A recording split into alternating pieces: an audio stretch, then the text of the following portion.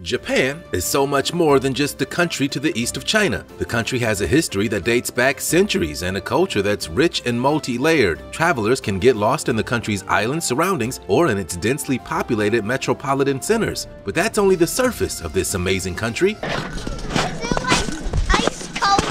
Mount Fuji to Sagamo Bay, sea to sky and back again, you'll not believe what strange stuff has been surfacing lately, and it's not what you think. 15 shocking things recently discovered in Japan.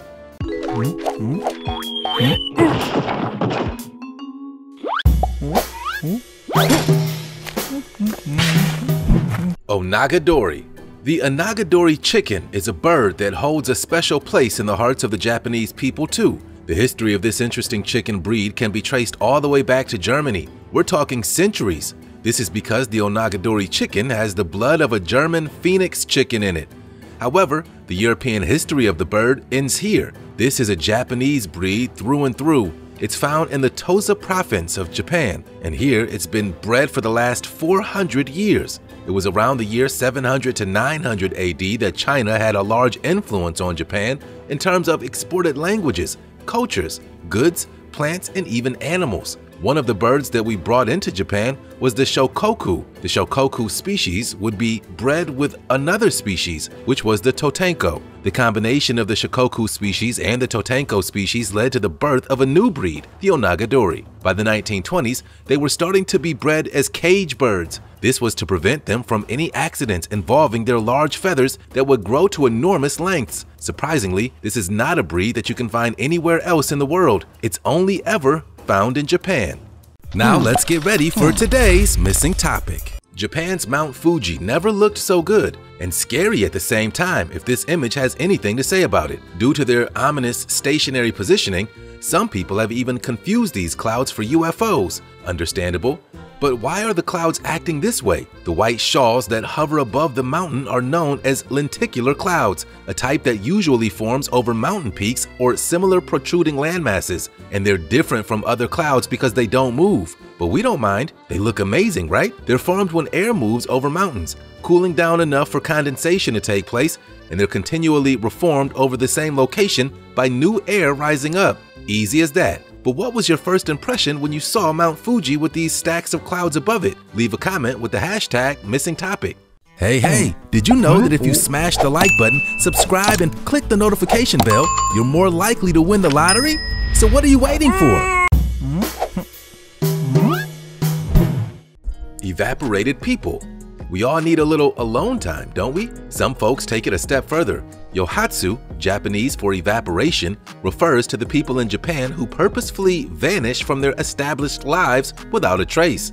People do this for a number of reasons, including depression, addiction, criminal misconduct, and a desire for isolation. Sometimes it's used to escape domestic violence, debt, and difficult family situations, the shame of job loss, divorce, and even failing an exam can also motivate people to disappear. In some cases, becoming an evaporated person is a way to just have a fresh start. When they disappear, they can abandon their former residences, jobs, families, names, and even appearances. In Japan, the topic is taboo in regular conversation. It's been estimated that 100,000 Japanese people disappear annually. In 2015, Japan's National Police Agency had registered 82,000 missing persons and 80,000 were found by the end of the year. It's been theorized that Japan's harsh work culture in combination with the lack of familial and community support has contributed to its prevalence. And believe it or not, this phenomenon can be seen all over the world, such as in the United States, the United Kingdom, and Germany. Hmm. Stinky foot dog. Do your feet smell bad? Just a little or absolutely awful? A Japanese startup has designed a robot that can sniff out a person's feet and assess how strong the odor is. Why? Why not? It's a helpful little robot mutt who will bark if it detects moderately whiffy toes, but will keel over if the stank is particularly pungent. The 6-inch dog, equipped with an odor detection sensor for a nose, also sprays air freshener to resolve the situation if the aroma is unbearable. Of all the senses, the sense of smell is the most important trigger of memory. Why is smell so intimately linked with our memory? One reason is that the olfactory system is located in the same part of our brain that affects emotions, memory, and creativity. Sniffing can also offer information on people's emotional states, such as if they're happy, sad, or fearful. Awareness of our innate smelling abilities, however, is complicated because the human language doesn't have words for a trillion smells, and much of smelling happens under the radar of our consciousness. Socially, smelly feet can be socially awkward in Japan, where shoes are removed at the entrance of every home. Plus, smells are becoming more of an issue in Japan, a place where subjecting others to your body odor can even be considered harassment.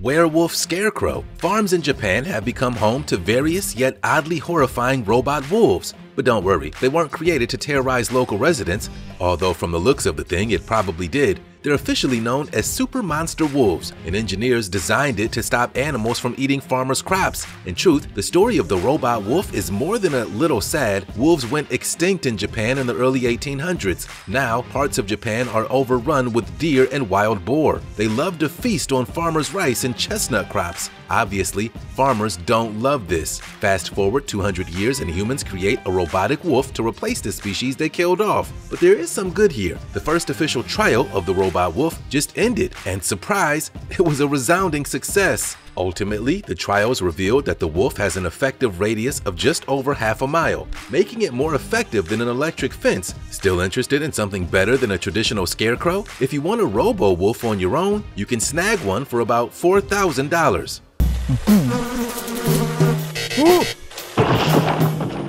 Eel FaceTime a Japanese aquarium made lemonade out of lemons recently to help with their eels. They were lonely, so the aquarium started asking people to make video calls to its eels so the sensitive creatures remember that humans exist and don't pose a threat. The Sumida Aquarium, housed in the landmark Tokyo Skytree Tower, has been closed recently and its animals have become used to a largely human-free environment during the two-month calm. But the aquarium said the unprecedented situation was leading the eels to hide in the sand when the keepers passed by. It may sound crazy, but a lot of people claim there's a gentle side to eels. Some aquarium workers have even said the snake-like fish are even more like dogs, showing intelligence and memory uncharacteristic for a non-mammal. Eels are very sensitive and wary by nature, but 300 of them living in a tank at the aquarium had become used to humans and rarely hid in the sand when approached by visitors. In a bid to reacquaint the eels with humans, the aquarium set up five tablets facing the tank housing the delicate creatures, with eel enthusiasts asked to connect on FaceTime. Once the video calls start, people are supposed to show their faces, wave, and talk to the eels. Hmm. Transparent toilet. It may sound like a crazy idea, but wait till you see restrooms with transparent stalls opened in parks in Tokyo recently, challenging the stereotypes of dirty and dangerous public toilets. But don't worry, when the toilets are not occupied, the glass stalls are transparent, enabling users to check for cleanliness and safety before entering. At night, they light up the parks like beautiful lanterns. Users need not be concerned about being exposed to the outside world as the high-tech glass stalls in the toilet become opaque when locked the transparency is another step in public accessibility, in addition to equipping these public toilets with baby chairs and ample room for wheelchairs. People will no longer have to jiggle the door to see if it's occupied, since the walls turn opaque when the restroom is locked and in use. These next-gen public toilets, which double as public works of art, are designed by internationally renowned architects and famous designers. The toilets appear like clear, bright jewels from afar in shades of lime, violet, and aquamarine and are transparent from the inside and outside when unoccupied. It's a bold statement for Tokyo to make. This unconventional concept is ideal for Japan, where its people display a high level of civic consciousness. Japanese alien fish. If you're familiar with the alien in the alien movies, more specifically its iconic inner mouth, one look at this fish is enough to explain its comparison to the fictional alien. The creature looks a little like a chest burster from the alien films, which feature fictional predatory extraterrestrials which aim at propagating their species and destroying the life that could pose a threat to their survival. Introducing the Warasubo, an eel-like creature that's reportedly as delicious as it is disgusting looking.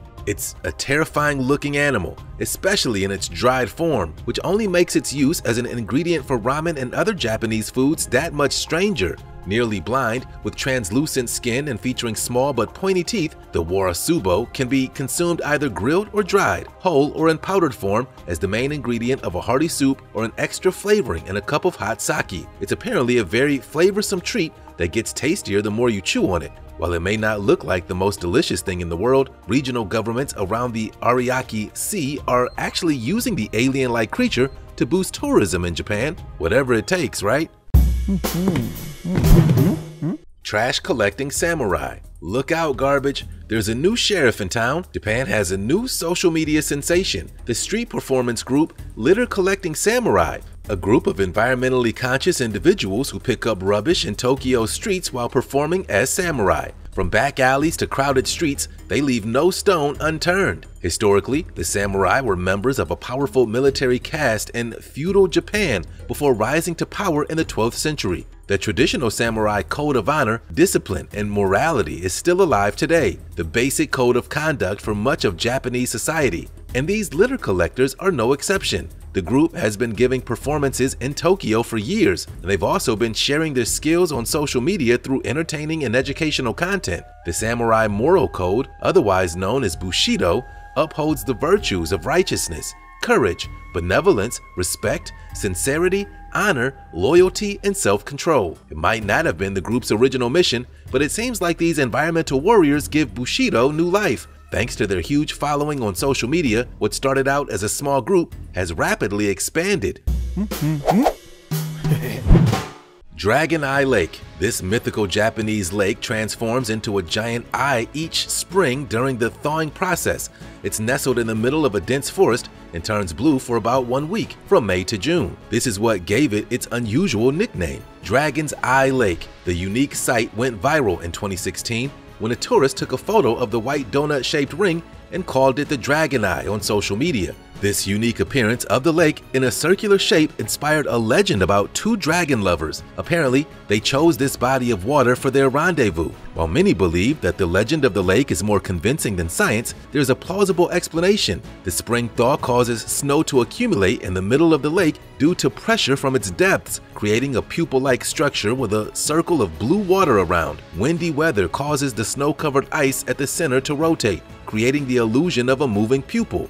It's a remarkable natural phenomenon, and many people come from around Japan and abroad to witness it at the end of spring. And Dragon's Eye Lake has become a more popular tourist attraction due to the popularity of videos and photos shared via social media.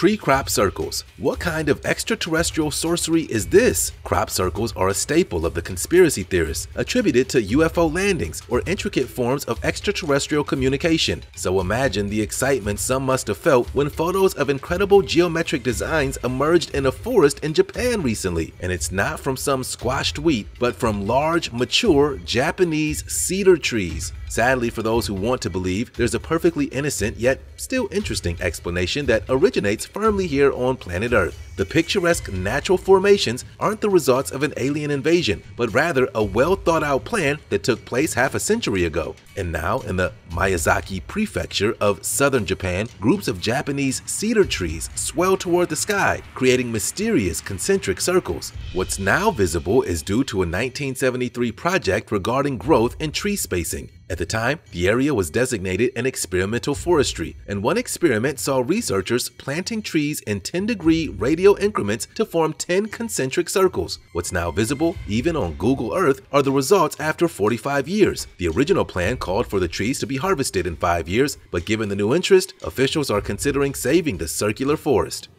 Hmm. Water Fountain Town known as Miyama's Thatched Village and has a higher percentage of thatched roof farmhouses than any other place in Japan. It's famous for its hidden sprinkler system capable of transforming the whole place into a water fountain. No wonder it's a popular spot for tourists. The water fountain town exists for good reason. The whole area is quite vulnerable to fire. Local officials realized this way back in 2000 that a fire burned down the archive center. This led to the locals not only asking the people to remain vigilant at all times, but also to install a unique sprinkler system for covering the entire town. The locals didn't jeopardize the aesthetics of the Japanese hamlet with automated sprinklers. Instead, they had 62 metal sprinklers concealed in small wooden houses that resemble the authentic ones in Kayabuki no Sato. Once the system is activated, the roofs of these houses move apart, thus making way for the sprinklers to fire jets of water into the sky. The strategically placed sprinklers fire powerful jets of water into the air to cover all of the thatched roof houses. On sunny days, these sprinklers are even able to create rainbows over the village. The sprinkler is tested twice on a yearly basis, generally in December and May. Pillow Fighting Championship Meet your new favorite sport, pillow fighting. Most of us have enjoyed a good pillow fight at some time in our lives. If you haven't, you don't know what you're missing. But here in Japan, pillow fighting is taken to a whole new level. Since 2013, the All Japan Pillow Fighting Championships have been held here, and it was inspired by the kind of pillow fights Japanese children on extended school trips often have when teachers aren't looking in the large tatami-matted communal rooms of the Japanese inn where they spend the night. The game starts with all five players sleeping under comforters and then leaping to their feet when the whistle is blown as they grab a pillow and begin the match. A cross between chess and dodgeball, the purpose of the game, carried out in two-minute sets, is to protect each team's general from being whacked and trying to whack the other team's general as well. One player on each side can use a blanket to shield incoming pillows. There's even a special rule where one player can call out, the teacher's coming, which allows them to snatch the other team's pillows. Can we make this an Olympic sport, please? Hmm. Dekochari. Deko in Japanese is short for decoration, and chari is slang for bike. The deco chari is a form of art bike indigenous to Japan dating back to the mid-1970s, characterized by the use of plywood accessories, chrome plating, light displays, and high-tech audio systems and there are currently several Dekochari bike gangs in Japan. The origin can be traced back to the 1970s, when Japan's Dekochari truck decoration trend was just starting out and gaining attention from people all over the world. Since kids did not have access to a truck of their own to decorate, they started taking part in the culture by painting their bicycles and thus gave rise to the Dekochari culture, which is prevalent even today.